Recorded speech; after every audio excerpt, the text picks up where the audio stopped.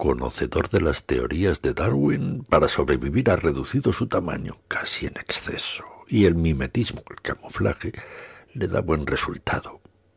Cuando camina por Palermo no lo advierten, no llama la atención, salvo si carga con un número inusual de volúmenes o lee mientras saluda a los vecinos, a los porteros de la cuadra o cuando por el rabillo del ojo para que descubran características de su especie, observa ávidamente los ombligos que brotan en verano.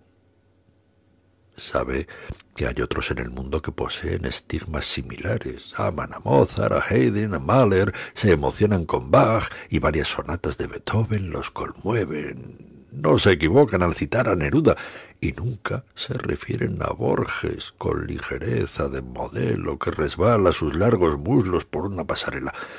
Algunos además coleccionan postales centenarias reconocen una frase de Proust, de Flaubert o de Barthes, disfrutan el banquete, el sabor de los quesos bretones, las ostras, los percebes o la luz de Picasso.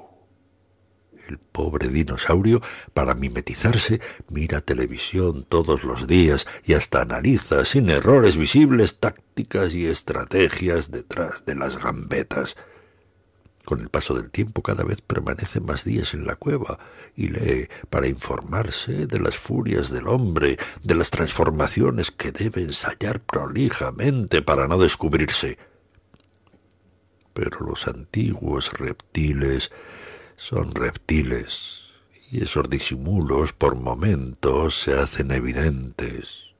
No les gusta mentir ni hablar de lo que ignoran la vejez los ha vuelto eruditos bibliófilos y en el fondo añoran la amplitud de los campos cubiertos de vegetación, de frescos pantanos y bikinis.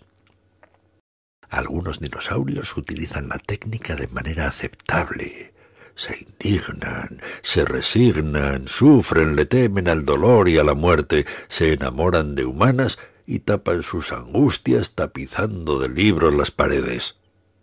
Todavía cada tanto deslizan un poema que como grandes huevos en la playa serán festín de arqueólogos en siglos venideros.